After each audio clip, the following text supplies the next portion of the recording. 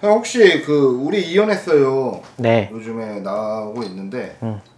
어, 지현수랑 일라이 씨는 아시죠? 아, 유명하잖아요. 그분들을 봤을 때 응.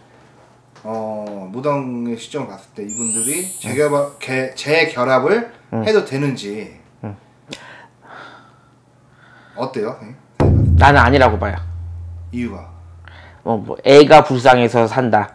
그것도 둘째치고 남자가 내가 봤을 때는 무능력해요. 일라이 씨가. 어. 그러니까 뭐 행동 거지나 사람을 상대하거나 이- 이런 게 자기가 좋으면은 좋은데 자기가 싫으면은 모든 걸 버리고 가는 사람이기 때문에 생각을 잘하고 살아. 연민을 갖고 미련을 갖는다고 해서 살아도 결국에는 내가 보면 또 파국으로 이- 이어진다라는 거죠. 나 또 헤어진다. 음, 뭐, 내가 뭐 이슈화 때문에 당분간은 뭐, 예를 들어서 뭐, 뭐, 방송을 위해서 자기네들 뭐, 뭐를 위해서 찍게, 찍게 찍을 텐데, 찍어서 글쎄요, 결과적으로 봤을 때는 나중에는 또 피해를 입지 않겠나, 라고 내가, 내가 봐서 보이는 거죠. 그럼 만약 결합한다고 하면은 다시 또 이혼한다. 음, 내가 봤을 때는. 산다고 해서 또 헤어진다.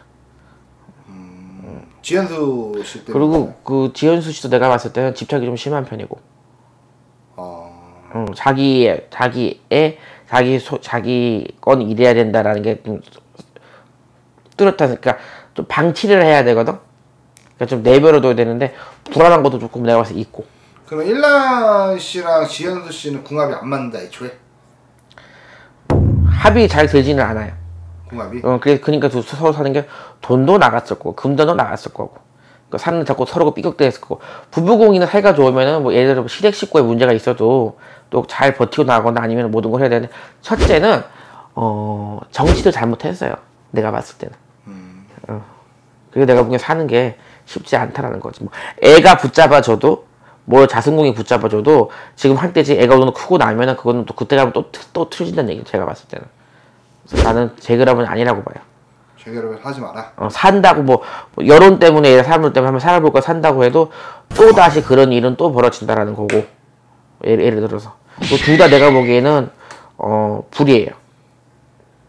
첫째, 음, 둘다 이렇게 약하지 않아요. 자기 의사 표현이 확실하게 해야 자기 걸 얘기를 해야 되는 스타일이기 때문에 힘든다는 거야. 아예 한쪽이 바보가 돼요. 우리가 결혼하고 살아요 부부도. 예를, 예를 들어서 뭐 남자가 아니면 남자가 바보고 여자가 강하면 그거 원래 강한 사람끼리 못 살아요. 한쪽이 약- 약간 좀 원래 별나면 한쪽이 약해요. 어. 그걸 맞추고 살아요. 그냥 이해하고. 근데 둘 다 불불이라 내가 보기에는 계속 부딪힐 것 같아요. 그래서 우리가 그런가?